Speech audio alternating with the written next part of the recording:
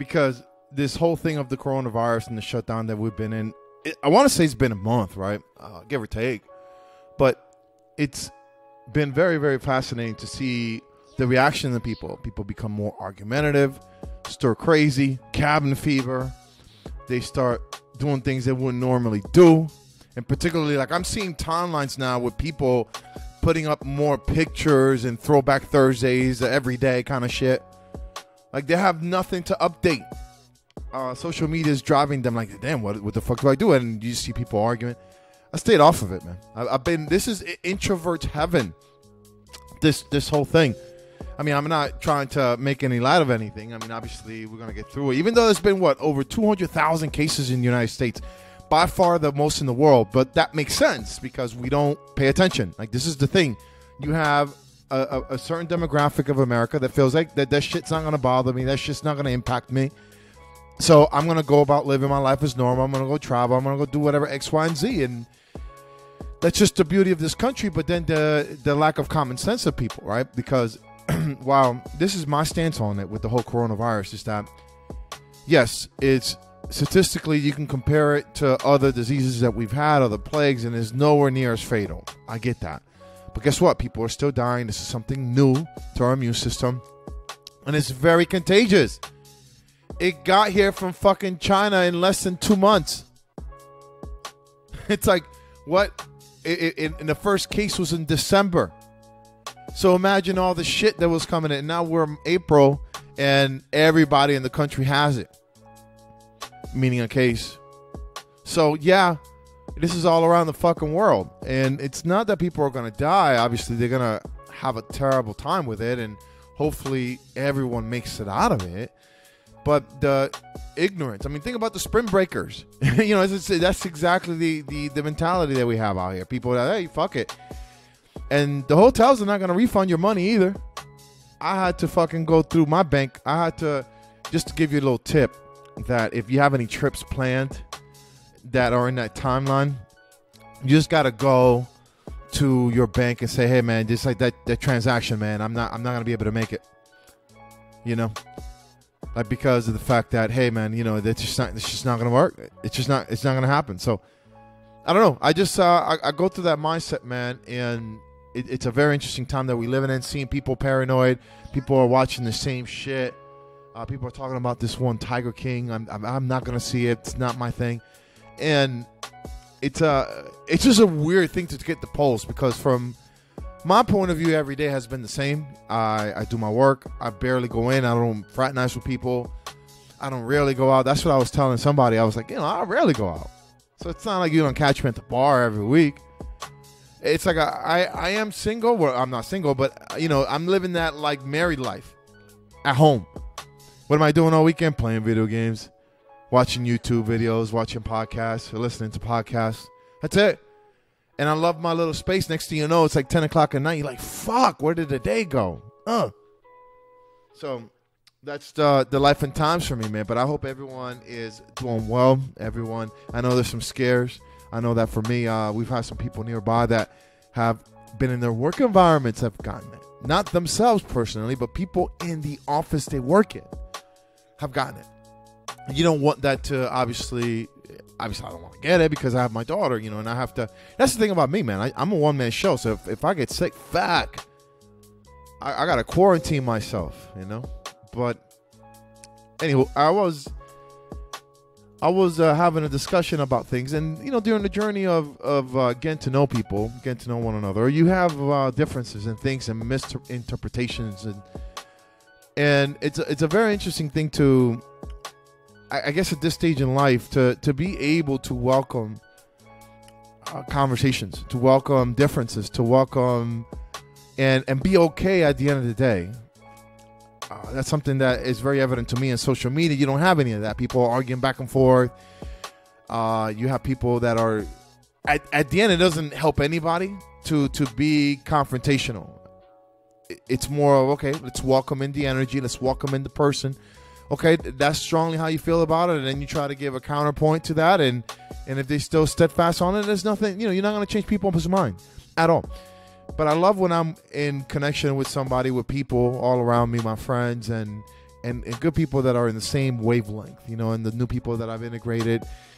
It's been an amazing thing to to have these conversations, these thoughts, and and to have this type of thinking. You know, and and I think that one of the things that was uh, recently in the conversations was uh, one of the elements of being called out, man, for maybe being insensitive. You know, like I'm a person that I don't I didn't grow up being nurtured, so it's it's hard for me to when I see somebody fall and they're fucking like, okay, all right, what are you gonna do? You gonna get up? All right, great. You know, unless I see like the leg broken or like blood splattering everywhere, then the, obviously I'll, I'll, I'll come into the rescue. But yeah, you know, you fall on your ass, you walk, you trip, you clumsy as fuck. I'm just gonna be like, I'm just gonna look at you. I'm not gonna help you. you know, and that was something that was brought up to my attention about you, you really don't uh, have any empathy, right, or sympathy. I'm like, I don't know what to tell you about that because I, I grew up in a mindset where you, you have to get yourself up. You have to. It's like as long as shit ain't broken, you get your ass up. you know, it's like.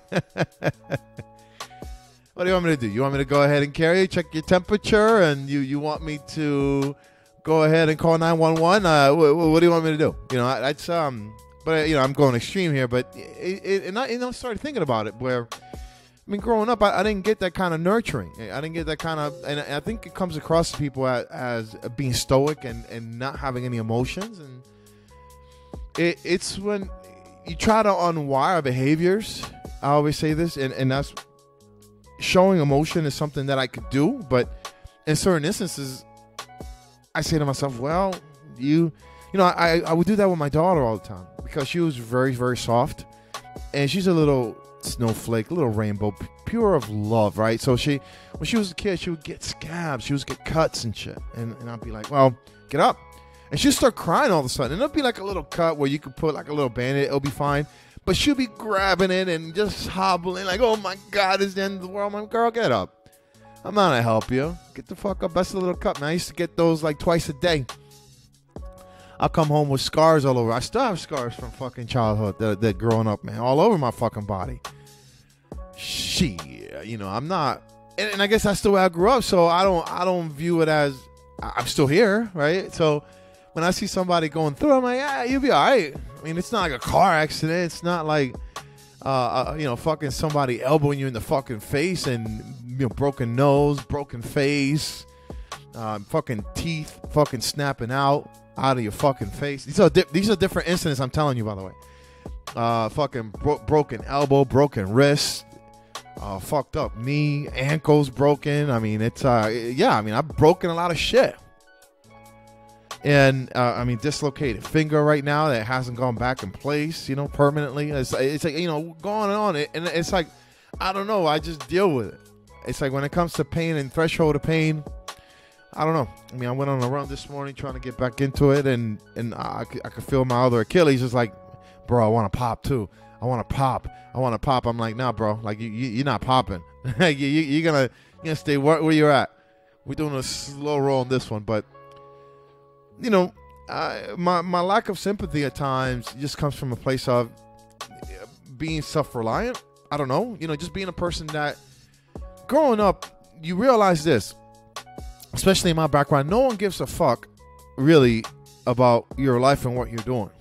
And I'm not saying that people didn't help and people didn't want to see you do better, but all in all, if, if you're not helping yourself, no one's going to help you. Right? Because I think people get tired of the whole sympathy and woes me kind of shit. And that's the mindset I have. I mean, uh, if I can't get up out of my fucking bed, then I'm not going to ask for, you know, I'm not gonna be having people waiting for me or depend on me. I mean, that's one of the things. I, I went through so much. I went through hernia surgery. I went through a couple knee surgeries, Achilles surgeries, and and it's like I'm sitting there not being bothered. I, I don't care. Like, let me be. Let me be. That car accident, man, when you get rear-ended on the highway, when the guy was doing 60, and in the report, I thought I spun out once, and it said three times. I'm like, whoa, fuck, man, I spun out three times to the railing. And then the guys in the ambulance were like, man, we thought you were fucked up because of the way the car looked. I'm like, you know, I got I lucked out, man. I, I, I don't know. I, I kept all my limbs in place and I don't know. It's um, it, it's it's a weird thing to because I, I just don't think of anything being a big deal, and a lot of it has to do with the pain, and it's a shame. Maybe maybe it's a shame that I've been through so much pain and suffering that I don't realize it, and, and it's one of those things I dismiss it. It's like ah, another one, another one. Doesn't bother me. I think the emotional ones bother me more, right? Because we we invest in other people. We we definitely have time involved and and then when you just don't see like the mutual energy the, the, the mutual love where it's expressed differently where your ego's hurt then it's like you know I, am just like I, I, can't i can't be that. I'd rather, I'd rather stay here. You know i'm the biggest extrovert introvert there is. You know like when i go out i don't like going out to the bar here locally. I like going out to vegas. I like going out to la i like going out to miami yeah, I could go out to the cigar bar here in town. Nah, occasionally, sure. But you know, the way I look at it is like, what am I gonna do? My success rate is zero. I don't, I don't bring any, I don't bring any action home, right? I mean, I don't. I, now I'm getting to an age where everybody is, is, definitely younger, and and then obviously the people that are out there, it, it's a wrong crowd. You know, these people just love to drink all the fucking time, or they just. uh you know, they're talking about money. They just kind of, you know, that's the one thing that's weird, right? That I, I, there were a couple phone calls I had this week, and I just always notice people uh, just grandstanding on on their own resume.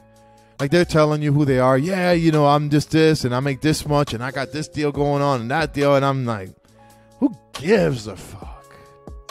Right? I mean, good for you. I mean, good for you. I, I'm I'm happy for you, but it is weird to see people validate themselves with such explanations. It's um, but anyway, I mean, I just kind of ramble there off the chain. Um, but yeah, I mean, I just um, you know, I recognize that I'm I'm a person that is not in tune with being sensitive. Like I think with my daughter I am, but when I see the over theatrics of somebody not uh, not taking up responsibility, I I tend to be more helpful to people that want to help themselves. But if you're trying to cry victim, or you know, let's just say you do something, it's like, dude, like, right, you know, I, I got my own shit to deal with, and I rec- and I realized that. Uh, that that was the thing. I realized that around 16, 17, all the crying I did, my family wasn't gonna come in and help me.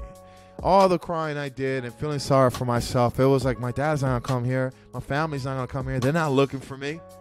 They're not inquiring about me. I haven't gotten one Christmas gift for anybody of those fuckers or not even a car, not even a birthday, not even nothing. So it's like, why am I waiting around for them to come and save me and help me from the shit that I'm dealing with? No, they didn't. So, and I remember telling that to a relative. I was like, I had to, and they didn't take this very nicely. I said, I had to imagine you, all of you were dead because I wasn't getting that support that I needed during those formative years. And it's something I had to whether it was your fault or not, that was the reality. You know, I always go back to that. That we, we no matter what, I don't want to place blame on them. It's just what, but what it is is that this was the circumstance. This is how I dealt with it. I know you don't like it, but that's how I had to deal with it to move on. And I know when it comes to sympathy and empathy, I'm I'm I'm very stoic about it. I I mean, I have people all the time in my line of work where they'll give me a sob story about X, Y, and Z, and I'm like, listen, I hear you, but no, you know, like I don't, I, I don't, I don't care. I'll be the greatest debt collector. If that if that was to be like a profession, I could make money and work three hours. I'll do it because I they'll be like they'll tell me their sob story. Oh my god, the light cut off and I'm going through a divorce and I'm like, mm, I hear you, I hear you, man. I've been through that divorce too, man. Yeah, I don't got no one helping me, man. Yeah, you know, I grew up. Oh man, you know, yeah, man. I know how it is, man. I grew up on uh, welfare, man, food stamps, all that good shit. I remember what the what the you know the five dollar coupon looks like. I remember when I had a twenty, like whoa, you know, we had twenty like a food food stamp. It was fucking big money. I mean, you can go like getting get that WIC the WIC, you get all the fucking cornflakes you, you you fucking need it. It's fucking great, man. But um, yeah. So I I think that's where, you know, I, I don't I don't really have any sympathy, or it, it's very rare that I do. And when I see others struggle, I mean, I, I want to see them get pick themselves up. I, I want them to see what they're made out of. It's like, you know, but if you crying to me and then and you're trying to feel sorry and, and trying to have me cry, don't get me wrong. If it, it, depends on the person, right? If it's my daughter and you're crying, I mean, I, I don't know. Tough love sometimes. I, am a big component of it.